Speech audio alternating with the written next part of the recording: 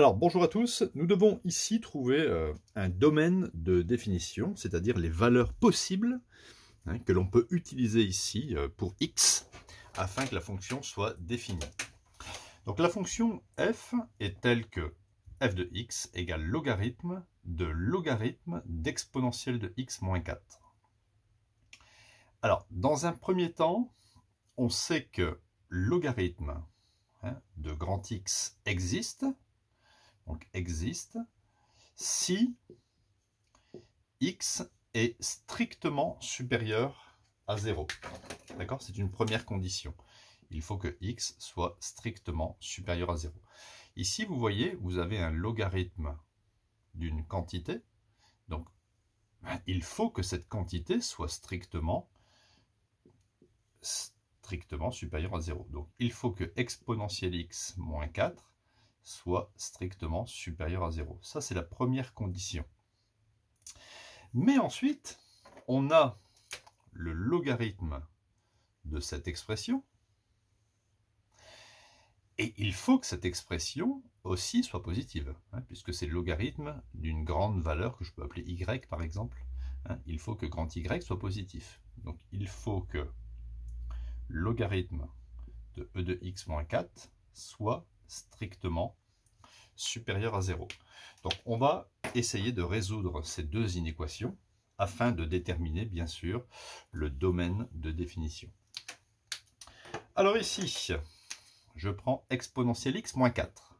Allez, je vais résoudre quand est-ce que exponentielle x moins 4 est strictement supérieur à 0.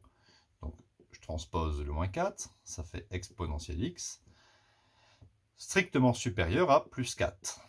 J'applique la fonction logarithme, logarithme de exponentielle x supérieur à logarithme de 4. Alors, j'ai le droit d'appliquer la fonction logarithme sans changer ici le sens de l'inégalité, parce que la fonction logarithme est croissante sur 0 plus l'infini. Regardez, si, un petit rappel, hein, si je représente la fonction logarithme, y est égal à logarithme de x, eh bien, si vous prenez un a qui est plus petit que b, hein, vous voyez, vous prenez un a qui est plus petit que b, ln de a sera plus petit que ln de b. Et pourquoi ça? Pourquoi si vous prenez a plus petit que b, le fait de mettre ln de a, ça sera plus petit que ln de b? Ben, Tout simplement parce que la fonction ln y égale lnx est croissante sur l'intervalle 0 pas pris plus l'infini. D'accord? Donc quand vous mettez ln ici, vous ne changez pas. Et si vous voulez justifier, vous mettez car la fonction qui a x associe lnx est croissante sur 0 plus l'infini. Donc ici, ln de e de x, ça fait x. Donc voilà, il faut déjà que x soit supérieur à logarithme de 4. Je vais commencer par faire un petit axe. D'accord? Un axe des valeurs de x possible. Euh, ici, c'est moins l'infini, plus l'infini. Il faut que x soit supérieur à ln de 4. Donc ici, je vais placer mon logarithme de 4. D'accord? Donc les solutions, ce sera de logarithme de 4 exclu, hein, parce que c'est strictement supérieur, jusqu'à plus l'infini. Maintenant, traiter la deuxième inéquation. Alors, il faut que logarithme de exponentielle de x moins 4 supérieur à 0. Alors, on peut transformer 0 en logarithme de 1, puisqu'on sait que le logarithme de 1 vaut 0. Si ln de a est supérieur à ln de b, alors a est supérieur à b. Je résous cette inéquation, je transpose expo x supérieur à 1 plus 4, ce qui fait expo x supérieur à 5. J'applique la fonction logarithme.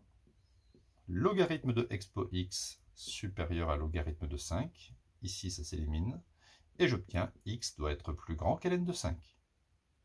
Donc, je peux le dessiner. Hein. Je mets ici logarithme de 5 jusque plus l'infini. Alors, il faut tenir compte des deux conditions, hein, puisqu'il y avait deux inéquations, eh bien, il y avait deux, ici, deux intervalles possibles. x doit être plus grand qu'ln de 4, donc x doit être dans l'intervalle bleu, mais en même temps, x doit être plus grand qu'ln de 5. Donc, le domaine d'étude, on appelle ça, c'est pas un domaine d'étude, parce que domaine d'étude, c'est pour euh, quand on résout une inéquation ou une équation.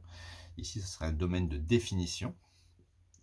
Le domaine de définition, c'est donc la partie commune des solutions des deux inéquations, et ça fait simplement ln de 5 plus l'infini.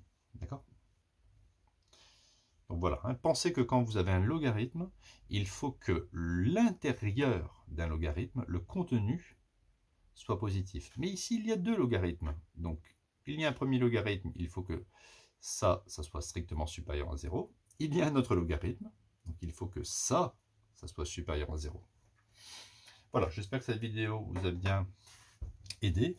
Alors euh, aujourd'hui est un, jour sympathique puisqu'on atteint les 30 000 abonnés, hein, sans doute ce soir. Voilà, on va continuer sur notre lancée. Donc n'hésitez pas, hein, on va bientôt faire des lives. Euh, s'il y a des choses qui vous intéressent euh, pour développer, mettez-le moi en commentaire. Hein, s'il y a des choses qui ne vont pas dans le site, vous pouvez aussi mettre des commentaires, n'hésitez pas. À bientôt